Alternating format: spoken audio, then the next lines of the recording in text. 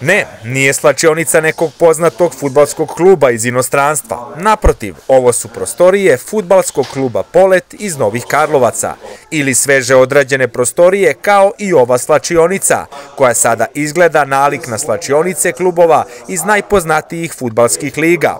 Obnovljeni su zidovi, fasada, promenjena kompletna stolarija, odrađeno i krečenje, sve kako bi članovi kluba ili svi oni koji i najčešće koriste ove prostorije imali što bolje uslove.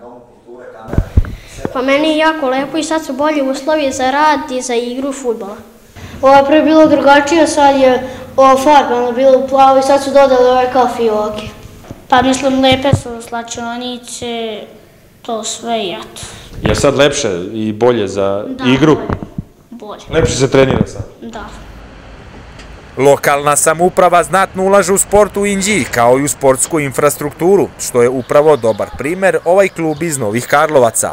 Za celokupne radove utrošeno je 350.000 dinara, pored opštine Inđija i same mesne zajednice Novi Karlovci i mnogobrojni meštani su dali svoj udeo ili uzeli učešće u radu kako bi sada prostorije kluba izgledale ovako. Evo, kao što vidite iz priloženog, urađene su slačionice, možemo da se pohvalimo sa njima, jer mnogi klubovi ovako, ovakve uslove nemaju, čak i ni u našoj prvoj ligi. E, Za ove slačionice je izdvojeno oko 350.000 dinara.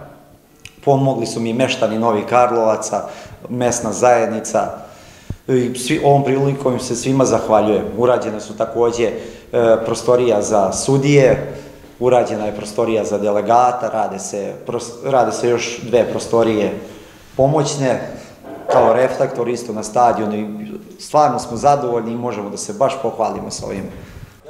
Iz mesne zajednice kao i iz kluba takođe poručuju da će se narednih dana poraditi i na postavljanju osvetljenja na terenu u vidu četiri nova reflektora, koja će doprineti boljem radu i održavanju utakmica tokom večernjih časova.